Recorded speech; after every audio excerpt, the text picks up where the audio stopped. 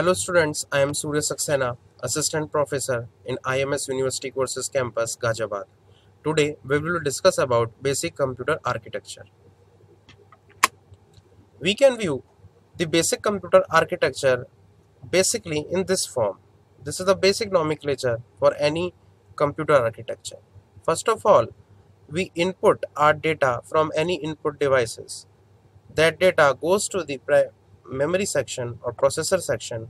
There is a bidirectional arrow between CPU and memory section. Memory section primarily divided into two parts that is primary memory and secondary memory. After storing the data from here, CPU fetch that data by these buses. So the data transfer in both the direction from CPU to memory and memory to CPU. In processor, we have two basic units that is control unit CU and arithmetical logical unit. We know that control unit has the overall control on the computer system and ALU that is arithmetical logical unit perform a number of computational or arithmetic or logical or relational operation to the R entered data.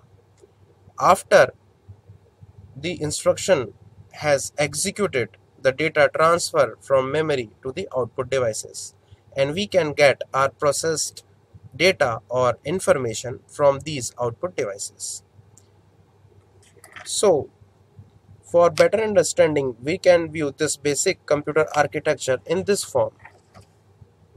The data or the program which we have entered in the computer or written on the computer has the main task to instruct the computer that that's why It is called that a program is a set of instruction. Because instruction told computer or instruct to computer or give command to computer to, to perform to perform any certain task.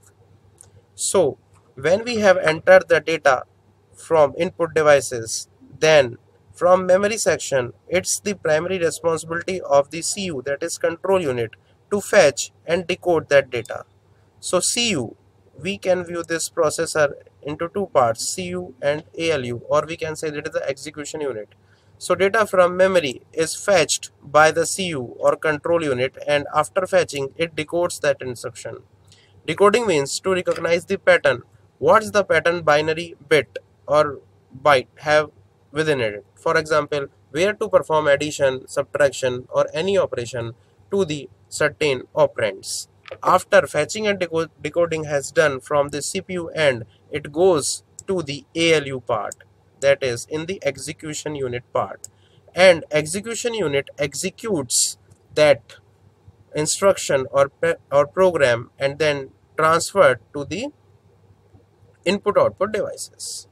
So at last we receive or we get our processed data after the instruction has executed by the ALU from these output devices. Okay. So this is the basic functionality or basic architecture of any computer organization of any computer system. Okay.